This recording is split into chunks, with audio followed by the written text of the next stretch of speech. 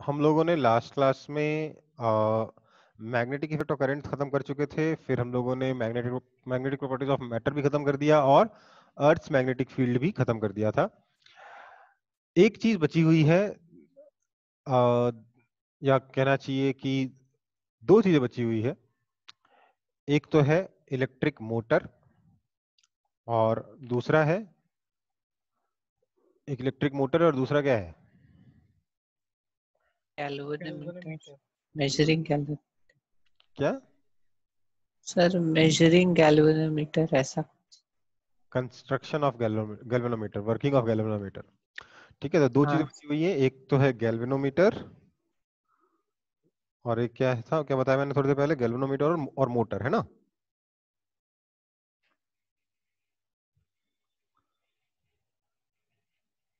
ठीक है?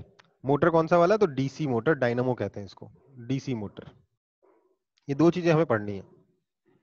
ठीक है बेटा? तो डीसी मोटर का कंस्ट्रक्शन आप लोगों ने क्लास टेंथ में भी पढ़ा था। सेम वही चीज़ यहाँ पे है। देखते हैं कैसे काम करता है डीसी मोटर। देखिए, क्या होगा कि एक हॉर्शू मैग्नेट लेंगे। मान लेते हैं हॉर्शू मैग्नेट में इधर नॉर्थ बना, इधर साउथ होना। ठीक है? इस हॉर्शू मैग्नेट के अंदर हम लोग एक कॉइल रखेंगे।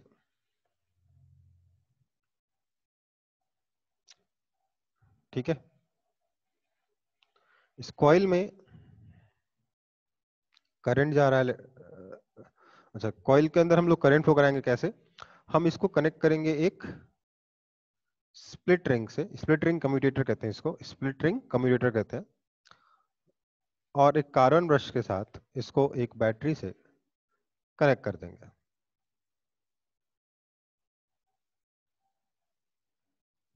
ठीक है, समझ में आ रहा है? ये जो कम्यू जो एमेचर है, इस अपनी एक्सिस के अबाउट ये ऐसे गोल गोल गोल गोल घूमेगा अगर हम करंट को अलाउ करेंगे तो। कैसे? समझते हैं। अभी ऐसे घूमेगा कैसे घूमेगा, ये चेक करना है। मैंने अपने मन से बोल दिया। क्या हुआ? करंट यहाँ से ऐसे जाएगा आई ये करंट यहाँ गया आई फिर करंट इधर से आया और ऐसे चला गया।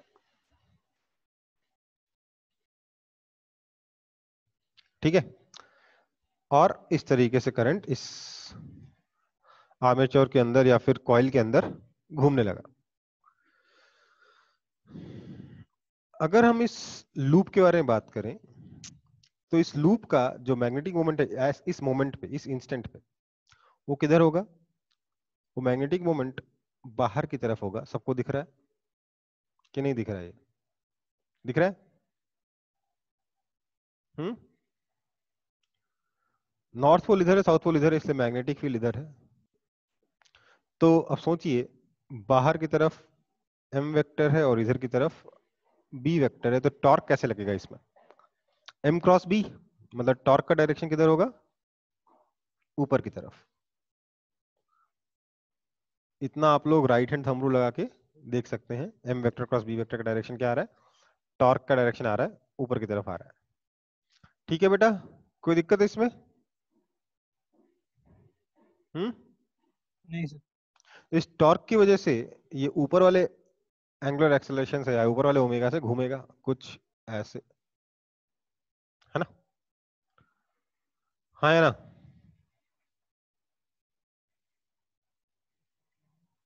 ओबीएस कहाँ ऑन किया आपने?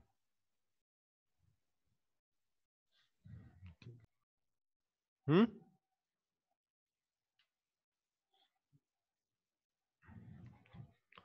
चलो। तो हमें क्या करा था? टॉर्क ऊपर की तरफ़ आया इस डायरेक्शन में।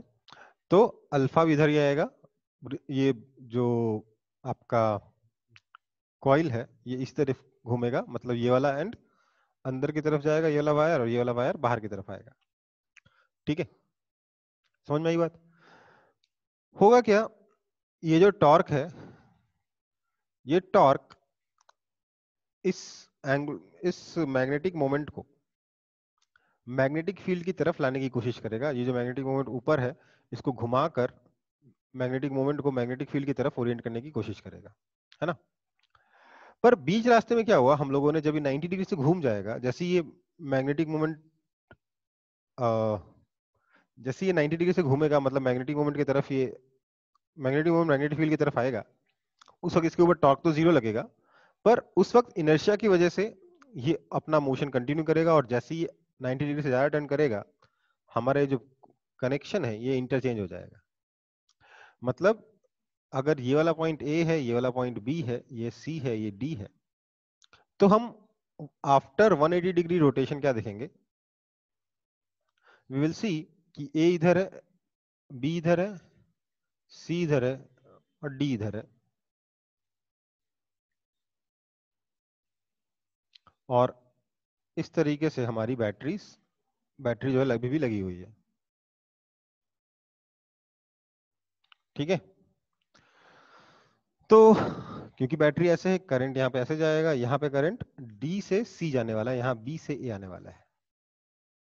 तो करंट का डायरेक्शन जो यहाँ ए से बी था, अब बी से ए हो गया, यहाँ सी से डी था, यहाँ डी से सी हो गया।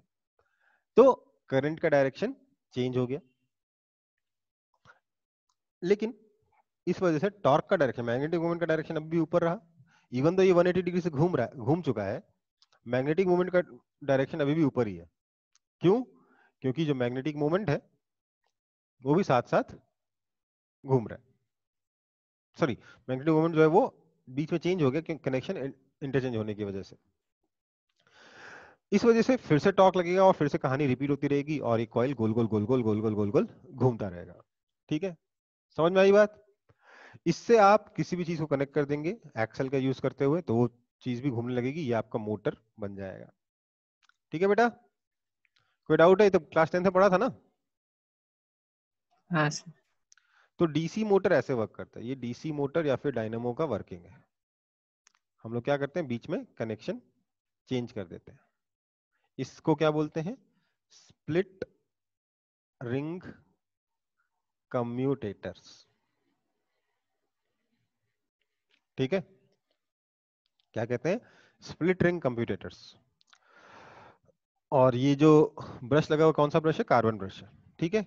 ये जो कॉइल है इसको क्या बोलते हैं? आर्मेचर ठीक है बेटा? कोई डाउट है इसमें? नहीं सर आसान सा है ना?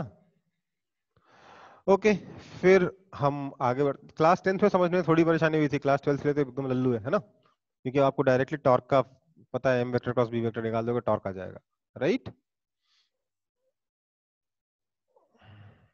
चलो फिर, आगे बढ़ते हैं। हमें अगला टॉपिक पढ़ना है गैल्वेनोमीटर उसमें भी खास तौर से। मूविंग कॉइल गैल्वेनोमीटर अगर आप एचसी वर्मा खोलोगे तो एचसी वर्मा में दो गैल्वेनोमीटर है।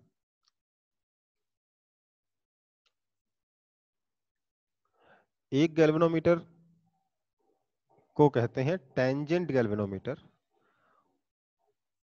उस गैल्वेनोमीटर की वर्किंग में अर्थ का मैग्नेटिक फ़ील्ड यूज़ होता है। ठीक है? वो हमारे सिलेबस में नहीं है बट फिर भी मैं हल्का फुल्का बता रहा हूँ उसके बारे में। आप चाहो तो उसको एचसी वर्मा से रीडिंग लगा सकते हो उसकी। मैंने लगाई थी अपने टाइम पर। क्या था? आपका जो मूविंग सॉरी जो टेंजेंट गैल्वेनोमीटर होता है, उसमें क्या होता है? आप एक मैग्नेट को एक करंट कैरिंग कॉइल के अंदर रख देते हो, ठीक है? उस मैग्नेट के ऊपर करंट कैरिंग कॉइल का मैग्नेटिक फ़ील्ड भी एक्ट कर रहा होता है और अर्थ का मैग्नेटिक फ़ील्ड भी एक्ट कर रहा होता है। तो जो मैग्नेट है, वो किधर पॉइंट करता है? दोनों के रिजल्टेंट के डायरेक्शन में हाँ या ना? करेगा कि नहीं करेगा? हम्म? अर्थ का मैग्नेटिक फ़ील्ड और कॉइल का मैग्नेटिक फ़ील्ड दोनों का जो रिजल्टेंट डायरेक्शन आएगा उस डायरेक्शन में मैग्नेट पॉइंट करेगा। अगर उस मैग्नेटिक फ़ील्ड में आप मैग्नेट को रख दोगे तो है ना?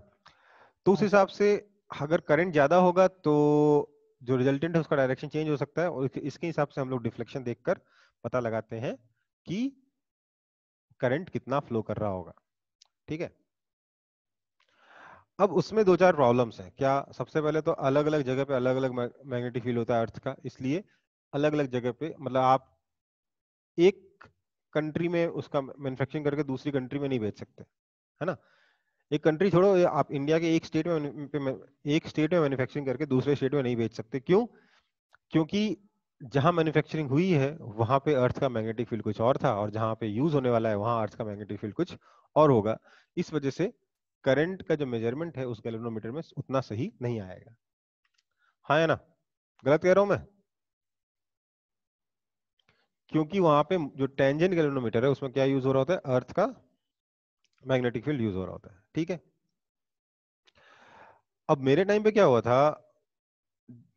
मेरा ट्वेल्थ के साथ सिलेक्शन नहीं हुआ था। ट्वेल्थ में मैं जब मैं था, तब ये गैलोनोमीटर सिलेबस में नहीं था और अगले साल सिलेबस में आ गया, ठीक है? सिलेबस में आया था मूविंग कॉयल गैलोनोमीटर मुझे पता नहीं था। मैं सी एच में उठा के पढ़ रहा था। तो मुझे टेंजेंट गैलोनोमीटर दिखा, मेरे को मन किया पढ़ने का कि वर्क कैसे करता है। आउट ऑफ़ क्यूरियोसिटी मैंने टेंजेंट गैलोनोमीटर पढ़ डाला।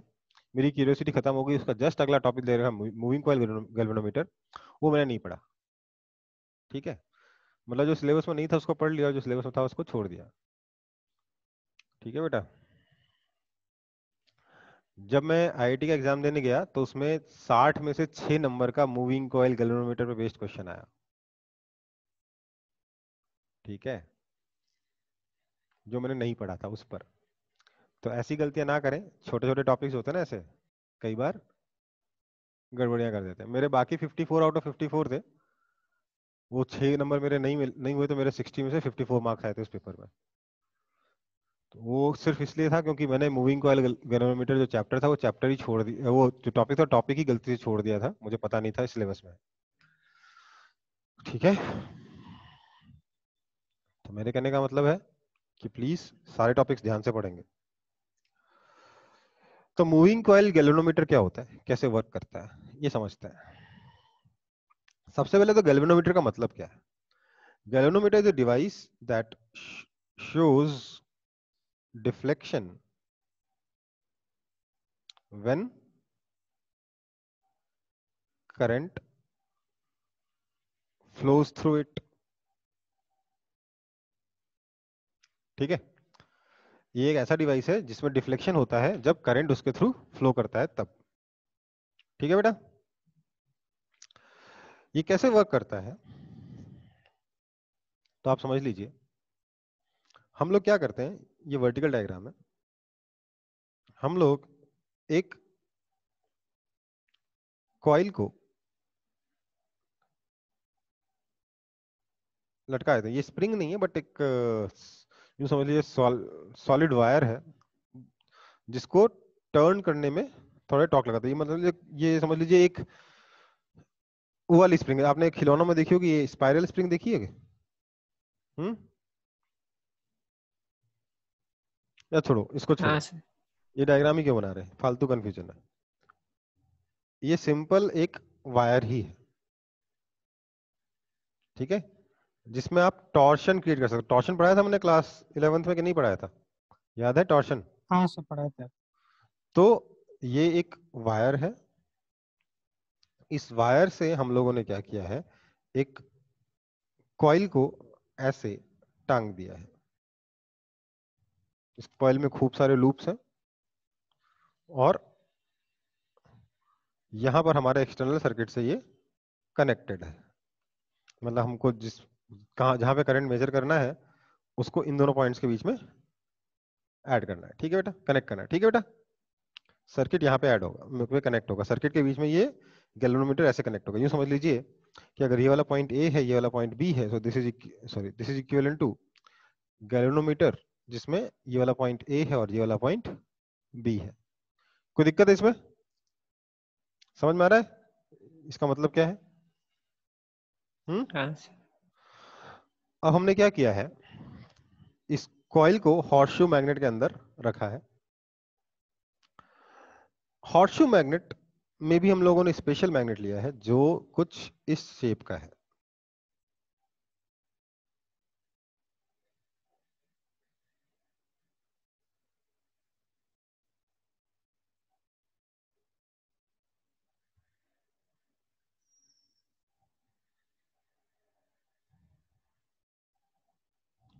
समझ में आया? नहीं समझ में आया ना?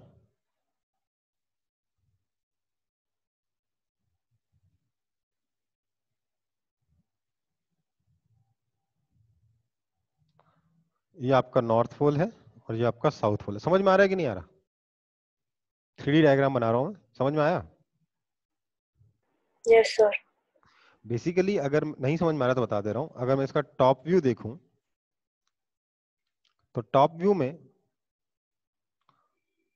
ये आपका नॉर्थ पोल है और ये आपका साउथ पोल है। बीच में ऐसे करके आपका कॉइल रखा हुआ है इसमें मल्टीपल टर्न्स है। ठीक है बेटा? कोई दिक्कत?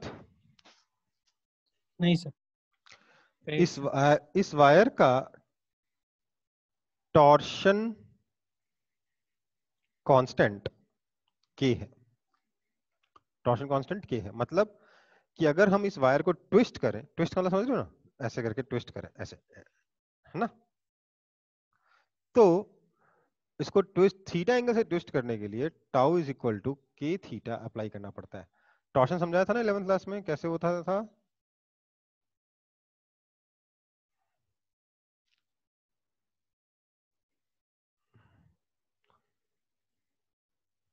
ये वाला एंगल थीटा था। हम्म? तो उसके लिए मैं मुझे ऐसे टॉर्क लगाना पड़ा था यहाँ पे। यहाँ पे ऐसे यहाँ पर उल्टा। तभी ना ट्विस्ट होगा जब दोनों, दोनों तरफ़ टॉर्क लगाओगे। समझ में आया कि नहीं आया? याद याद आया कि नहीं आया? हाँ। ये टॉर्शन एंगल था और ये शियर एंगल था याद है? हम्म? सब भूल गए।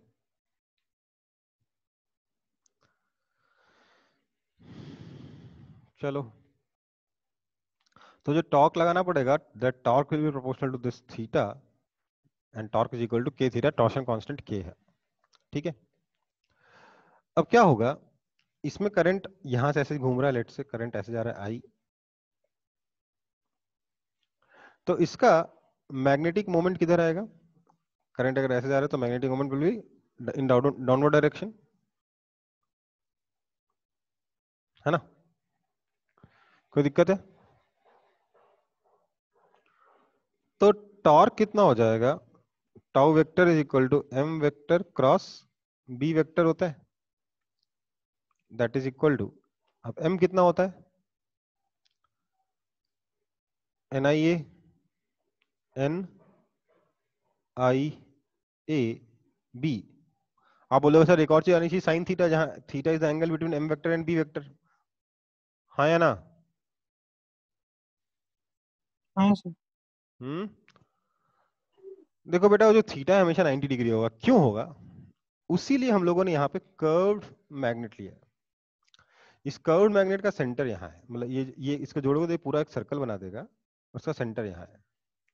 इसकी वजह से क्या होगा? जो मैग्नेटिक फ़ील्ड आएगा ना यहाँ पे, नॉर्थ पोल से साउथ पोल, वो कुछ ऐसा आएगा। यहाँ से नॉर्मली निकलेगा या नॉर्मली एंटर करेगा तो मैग्नेटिक फ़ील्ड कुछ ऐसा होगा।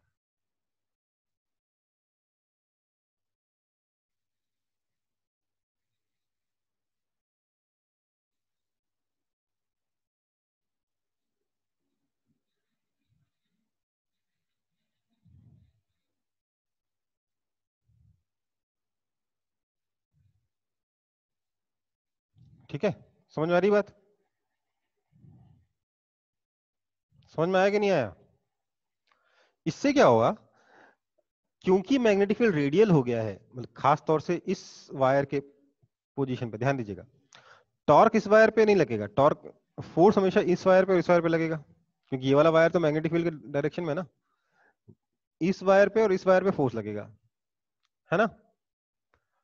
हाँ या ना? हाँ और जहाँ पर ये वाले वायर पहुँच रहे हैं, वहाँ पे सोचिए जरा, मैग्नेटिक फ़ील्ड तो एकदम रेडियल डायरेक्शन में ही ना? तो मैग्नेटिक फ़ील्ड और मैग्नेटिक मोमेंट के बीच में बेसिकली एंगल कितना है? 90 डिग्री ठीक है? Sine theta is equal to one as magnetic field is radial. अगर नहीं समझ में आया तो लिखना इतना ही है। कोई दिक्कत इसमें? हम्म? नहीं तो हम बोलेंगे इस टॉर्क की वजह से ऐसे तो ये घूमता जाएगा अगर कांस्टेंट टॉर्क लगता रहेगा तो, तो ये कॉइल घूमता ही रह जाएगा। ऐसा होगा होता है क्या? नहीं ना? कभी क्लियर में पहुंचेगा ही नहीं। तो इस टॉर्क को बैलेंस कौन करेगा? इसका टॉर्क इस वायर का टॉर्क तो at equilibrium this N I A B is equal to K theta है ना? समझ में आई बात? हाँ सर। तो अब सेंसिटिविटी क्या हो जाएगी? करंट सेंसिटिविटी क्या हो जाएगी? फॉर्मूला याद है करंट सेंसिटिविटी का? डेफिनेशन याद है करंट सेंसिटिविटी की? सेंसिटिविटी का मतलब क्या है? डिफ्लेक्शन पर यूनिट करंट मतलब this is equal to theta by I that is equal to N A B कोई दिक्कत है बेटा इसमें?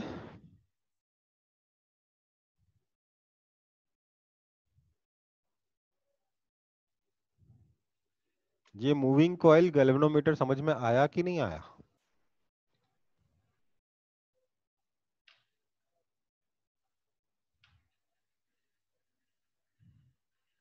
हाँ सर तो उसको सब लोग फटाफट कॉपी हाँ कर लेंगे।